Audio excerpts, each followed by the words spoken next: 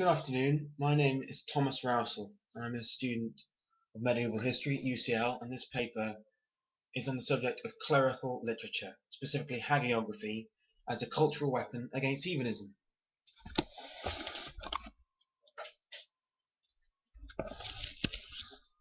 Um, the arrival of heathen raiders had political and religious significance for the history of the Anglo-Saxons and the clerical writing of the time reflects this. Vikings targeted monasteries and churches where wealth was to be found. Monks responded through literature, demonizing Scandinavians and glorifying the martyred Christians who fought to defend their nation. The lives of martyred saints such as St. Edmund, who died in 869, and Alfhere, also known as St. Alfege, uh, died in 2012, provided examples of extraordinary courage drawn from their faith, such that might impress even the most skeptical of pagans. I will argue that the militarized martyrs and saints in Anglo-Saxon England are both a shining example to Saxon Christians and also an enticing lure to the pagan Scandinavian settlers uh, might encourage them to adopt the Catholic faith, as King Canute did.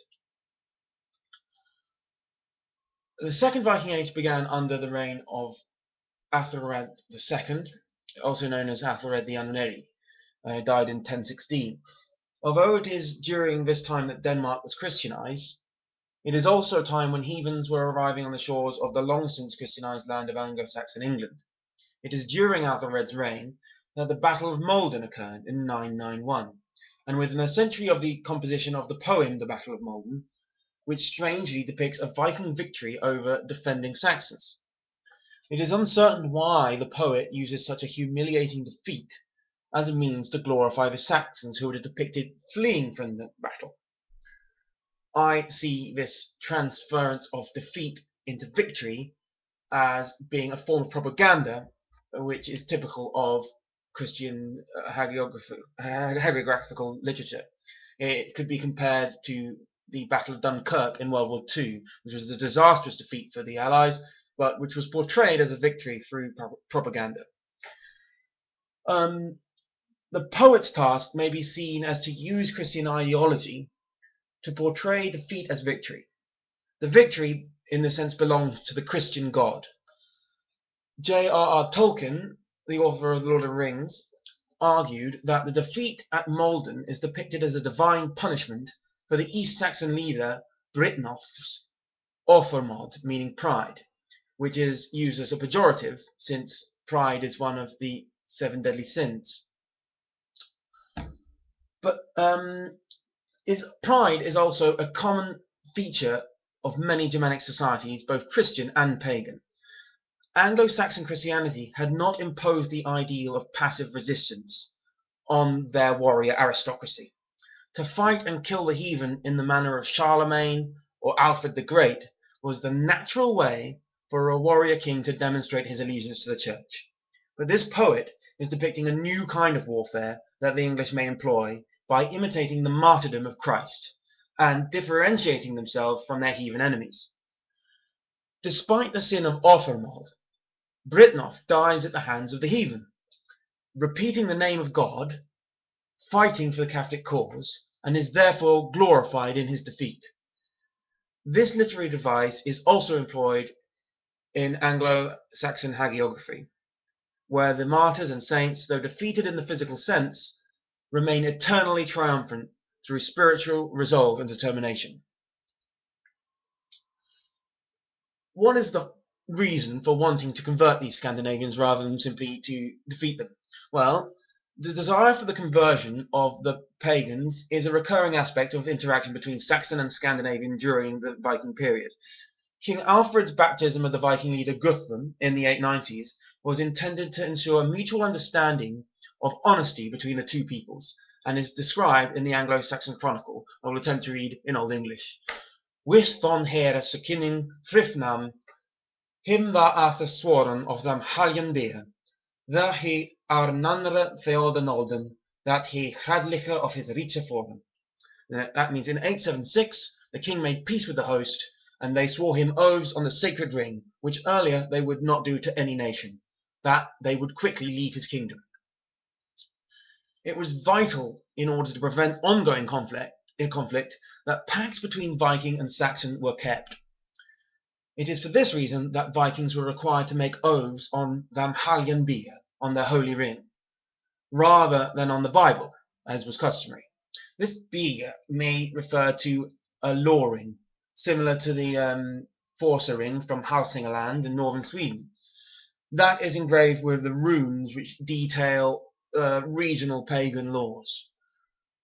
By converting the Viking leaders, the Saxons could be certain of common values and they that they might keep their oaths in future. One of the good examples of these martyred saints is King Edmund. According to the Anglo-Saxon Chronicle, King Edmund was killed while fighting Vikings in 869.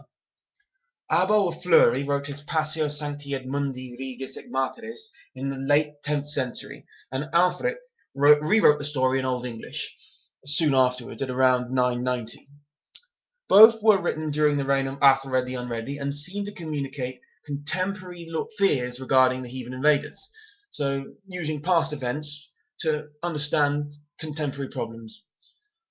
Ælfric's story of Edmund's martyrdom is far more elaborate than the very brief entry we find in the Anglo-Saxon Chronicle or in Asser's Life of uh, Alfred. So the story of Edmund's martyrdom, uh, a brief summary of it, uh, goes that after losing a battle against the Vikings, Edmund refuses to take his bishop's advice and run away. Instead, he says, "Nas me nafra jewunalik dat worth, worta fleamus, ach is wolda swither swelten, if is thorte for minem agenum eared. It was never my custom to take flight, but I would rather die if I must, for my own land. Very heroic. When confronted by the Viking leader Hingvar, Edmund decides he should Jeafen lachen Christus Jebisningum, imitate Christ's example, who forbade Peter to fight against the Jews. This is the first of several comparisons between the Jews and the Vikings in the text, one which by association equates Edmund, equates Edmund with both Jesus and St. Peter. The Vikings torture Edmund, trying to make him denounce Christ. They shoot him with so many javelins that he resembles a hedgehog. Uh, the exact quote is Besatt mit heora schottingum, swilka iglis bursta, swa swa Sebastianus was. He was beset with their shots as with a porcupine's bristles, even as Saint Sebastian was and that is a direct reference to the martyrdom of Saint Sebastian. Um, this comparison with Sebastian corresponds with an entry in the Old English Martyrology. Um, translation I have is by Herzfeld. Um, Sebastianus tidvas Arthelan martyris, dom Diocletianus se casere. He was heathen, he het hine mit stralme Scotian, that he was there swaful swa eagle that Deo bisbruste. The noble martyr St. Sebastian, whom the emperor Diocletian, he was a heathen, ordered to be shot with arrows, that he was full of them as a hedgehog is of bristles. Obvious parallel. When Edmund still refuses to renounce Christ, he is decapitated by the Vikings, in a scene which bears more than a passing resemblance to another saint's life, that is the story of Saint Kenelm, an Anglo-Saxon saint, died in 811, as told in the Vita et Miracula Sancti Kenelmi, probably composed between 1045 and 1075, post-Norman uh, invasion then. Kenelm's elder sister, Cwenthryth, has ambitions to rule, uh, so orders her brother to be killed by a steward named Ashbert, and though the boy, the Kenelm's only a little boy in the story, he bravely meets death in the manner of Christ and also in the manner of St. Edmund, the martyr saint.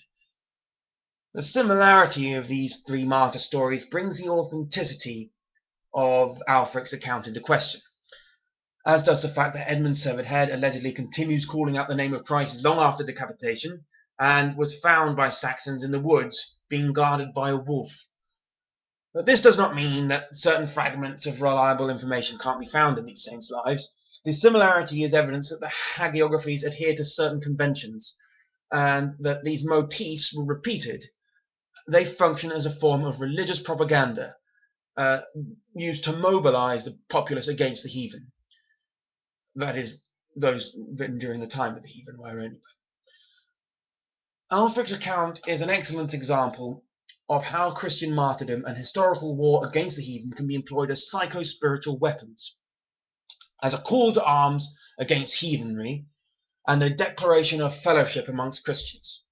Here is a shining example of an Englishman who mimics the death of Christ for the benefit of Christianity in England. Such works can only increase the readiness further and a sense of identification with fellow Christians in opposition to marauding Scandinavians. Edmund had been venerated as a saint during the period of Danish rule in England, and Jayne Carroll has suggested the possibility that the very Danes who had killed Edmund may later have venerated him as a martyr saint. That's highly unlikely, but it does illustrate the fact that the Danes or Scandinavians living in the Danelaw were worshipping him as a saint. The popularity of the cult of St. Edmund among Scandinavians is supported by Ari Thorgilsson's Islendingabok, written between 1122 and 1133. It describes the killing of Edmund at the hands of Ivar, as Old English Hingwar, the son of Ragnar Lothbrok. And the importance of martyrdom of Edmund to Icelanders, like Ari, may have arisen uh, not out of respect for the Christ-like nature of his martyrdom, but because of acknowledgement and identification with the Viking dynasty of the semi-mythical Ragnar Lothbrok, whom even Ari claimed descent, from whom he claimed descent. Abbo is the first source to name Hingwar, most likely uh, the English version of Ivar inn Beinlausi, who died leading a Viking army in East Anglia during the 860s. So unless Ari had access to an unknown source, which we now lost, it is most likely that the Icelandic interpretation of Edmund's martyrdom is derived from Abbo or the Anglo-Saxon Chronicle. Edmund's uh, memorial coinage was uh, was minted and circulated in Danelaw territory. So um, we know that uh, the cult of Saint Edmund developed in keeping with hagiographical convention and is unlikely to have been seen intended as a means of converting heathens to Christianity. But there is this evidence that the Danish rulers of England accepted Edmund as a saint. And we can see when we see this memorial coinage bearing the inscription Ske Eadmund Rex uh, from the early 10th century. It was circulated within the Danelaw, and that included Edmund's former kingdom of East Anglia. Heroism is a topic that needs to be addressed on the subject of spiritual propaganda. Heroism is obviously a major aspect of heathen culture, but heroism was a quality admired in Christian society as well. But Christianity has a more flexible definition of heroism to manipulate for hagiographical purposes. The heroic is an alternative within Christian culture rather than an alternative in opposition to it. That's a quote from Phelpstead on the subject. Ælfric reflects this idea with the inclusion of the lives of two English royal martyrs in his Lives of Saints. Both St Edmund and St Oswaldus die in battle against pagans in a similar manner to Byrhtnoth in the Battle of Maldon. This is not to say that the imitation of Christ was considered mandatory for Anglo-Saxon Christians. Rather, it was one potential ideal amongst many alternatives to which they could aspire. Total pacifism would hardly be an adequate form of defense against the heathen. Alfred, Offa, Charlemagne, these are the most obvious examples of the militant Christian warrior against the heathens. Examples that Olaf Tryggvason uh, followed in Scandinavia later on.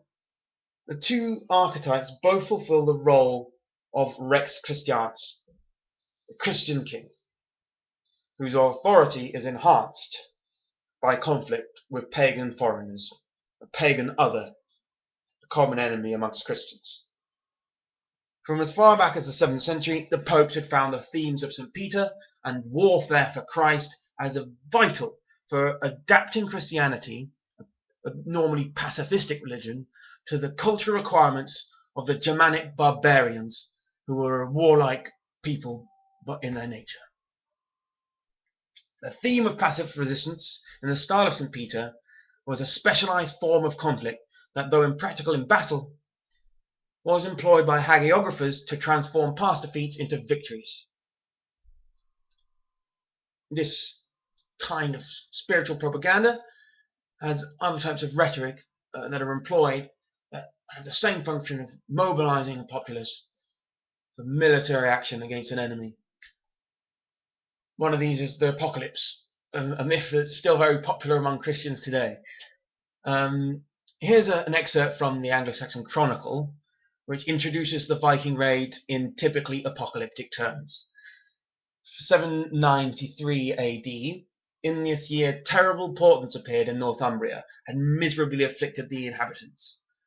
These were exceptional flashes of lightning and fiery dragons were seen flying in the air, and soon followed a great famine, and after that, in the same year, the harrying of the heathen wretchedly destroyed God's church in Lindisfarne through rapine and slaughter. Uh, this style of war, spiritual warfare against the pagans that is prevalent in Anglo-Saxon hagiographical literature is in keeping with the apocalyptic rhetoric in numerous Anglo-Saxon texts, including Wulfstan's Sermo Lupi ad Anglos, Quando Dani Maxime Persecuti sunt eos, or the Sermon of the Wolf to the English for short, in which the fate of the English at the hands of the heathen Vikings is said to be a manifestation of divine punishment for the impiety of the English and symptomatic of the beginning of the apocalypse. Another example of heathen raids depicted as divine punishment can be found in Alcuin's letter from the court of Charlemagne to Alfred, king of Northumbria. Alcuin wrote, Consider carefully, brothers, and examine diligently, lest perchance this unaccustomed and unheard of evil was merited by some unheard of evil practice. Blame yourselves for what the heathen are doing to you. If the arrival of the heathen is, is the product of unchristian behavior, the same reasoning holds that the remedy to heathen raids is a more Christian society, one with more Christ-like saints, canonized through martyrdom at the hands of their heathen enemies. Uh, there's much more apocalyptic rhetoric to get through here. The arrival of a common enemy on English soil, may have been a benefit to Anglo-Saxon kings, though it's unlikely they would have thought that at the time, the perceived otherness of the Danes due to their paganism could be a means of uniting and militarizing different regions and therefore consolidating power. Homilists such as Wulfstan and the anonymous author of one of the sermons of the in the Blickling homily collection use fear of the impending apocalypse to create a sense of urgency in the battle against the heathens. Here's a quote from the Sermon of the Wolf. Beloved men, Recognize what the truth is. This world is in haste and nearing the end, and therefore the longer it is, the worse it will get in the world, and it needs must thus become very much worse as a result of the people's sins prior to the advent of Antichrist. And then, indeed, it will be terrible and cruel throughout the world. Uh, Wulfstan had been Bishop of London, Worcester, and York, where a lot of Vikings used to hang about and he undoubtedly had first-hand experience of Danish settlers. And his Sermon of the Wolf was composed between 1010 and 1016 under the reign of Athelred II and puts the blame for the arrival of the heathen on their English victims. Um, another quote from Wulfstan, this time from his Secundum Marcum. The time of the Antichrist is very close, and so the longer the world goes on, the worse it is. People are treacherous, and the world is the worse for it. And this damages us all. And henceforth, indeed, things are going to become seriously heavy for the righteous, the needy, and the innocent. The sermon suggests that pagans arrive because the Anglo-Saxons have failed to be pious Christians, and that they will only be free of the heathen through a program of militarization and Christian reform, such as that implemented by Alfred over a century earlier. The impending doom of apocalypse puts a time limit on salvation. This encourages desperate attempts to prove one's Christian virtue before the second coming. It's the same kind of rhetoric. In, you know, you get people to go out and take the crusades against the Muslims later on, after they've finished with the heathens. There's an image of Hellmouth. Uh, this is the imagery of Catholic apocalypse. Very striking. Here's another saint, similar to Edmund uh, in his martyrdom, Alfhere, mentioned previously. The cult of Alfhere was based on a similar type of martyrdom, martyrdom to that of Edmund, but was contemporary with the Second Viking Age. Here's had Alfred been alive when Alfhere was martyred in 1012, he may have written the life of Alfhere, which reflected the biblical themes with which his other works were concerned. The Laud Chronicle portrays Bishop Alfhere's brave and noble sacrifice to the name of Christianity, preferring to be martyred than to have a ransom paid on his behalf to the Vikings. The Parker Chronicle records how King Canute later became associated with the cult of St. Alfhere. It was a wise decision on his part, um, it describes how in 1023 Canute had the bones of the saint moved from St Paul's in London to Christ Church, Canterbury. This act may have helped to associate Canute with the cult of Alfhere and disassociate him from his Scandinavian kinsmen who were responsible for killing Alfhere. Wulfstan helped guide King Canute toward the ideal of uh, an English Christian king. He learned the value of public displays of piety and patronage as a means to legitimize his claim to the throne of Christian England. Despite his recent heathen heritage and the fact that the official eulogies back in um, Scandinavia legitimized his rule for approval of the Viking god of war, Odin. Not very Christian.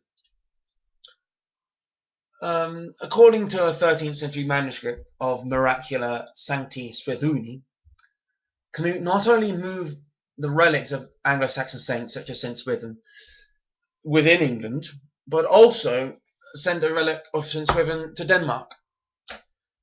Haki Antonsson has argued that Canute's intentions behind the relocation of saints' relics in England also led him to relocate the bones of saints in Scandinavia including those of his former enemy Olaf Haraldsson. This was a means of neutralizing hostile sentiment toward his rule. His policy regarding saints across his vast kingdom seems to have been to draw relics to establish centers of power. This is likely to have contributed to the secure establishment of Christianity in Norway and Denmark in the 11th century. Canute not only adopted the cult of the indigenous saints of England, but also the conventions of hagiography regarding the ideals of English kingship. His most famous legend, an act of flamboyant humility, in which he demonstrates his lack of power over the ocean, corresponds to the ideal of a pious king, pious leadership that had been maintained in England for centuries. So, Ælfric's Lives of Saints were composed for devotional private reading, but they could be read to an audience. The messages of the hagiographies were intended for, you know, a pri a, primarily for a literate elite, uh, clerical officials and such. But it wouldn't be much good if those were the only people who heard them, and we know that they did filter down. Uh, it can be assumed that they filtered to these lower sections of society in, and, and that includes abroad as well. In the Icelandic source, cited as the Saga of Saint Edmund in Ari Thorgilsson's Islendinga book, it is most likely Abbo that they uh, they're talking about there. By the 12th century, the cult and its story had penetrated Scandinavian clerical literature. This would have been unlikely to occur if such texts were exclusive to a small section of the Anglo-Saxon aristocracy or clerical officials and such. So the stories of many martyred saints were constructed posthumously and quickly gained momentum as their cults were adopted by kings and perpetuated through patronization. Athelred the Unready paid out huge sums of money to invading Danes, including £36,000 in 1007 AD, and he still couldn't protect England from the invaders, so that was a waste of time. The transition from Athelred to Canute was made less problematic by the fact that Athelred was an unpopular king. He was a loser. He couldn't do any. He couldn't get rid of the Vikings. He wasn't ready for them. Um, but Canute successfully managed to manufacture an image of himself as a Christian king in the English tradition, despite his pagan heritage. And he was much better at getting rid of Vikings, being one himself. M.K. Lawson suggests that Wulfstan's writings, such as the Institutes of Polity, contain allusions to current affairs, such as the transition from Athelred to Canute. Uh, the, here we see the modern political issues being translated through these clerical sources. to conclude, the canonization of saints was a weapon in the war against the heathen. Later Anglo-Saxon hagiographical writing reflects this, um, and it reflects European cultural norms, so that parallels may be drawn between the Anglo-Saxon saints such as Edmund and much earlier ones such as Lawrence. The stability of Anglo-Saxon Christianity and therefore of England itself was threatened by the advent of the Second Viking Age. To the authors of clerical literature, the heathen represented the divine hand of God and became a social device with which the church could manufacture a new understanding of Christianity. Uh, much of this was formalized under the reign of King Canute, whose own Viking heritage drove him towards a more fervent Christianity. Canute restored and revived the cult of many Anglo-Saxon saints, which survived long after Norman conquest. Under his reign, the Scandinavians living in the Danelaw became assimilated, and Anglo-Saxon saints were adopted by Danes in England and abroad.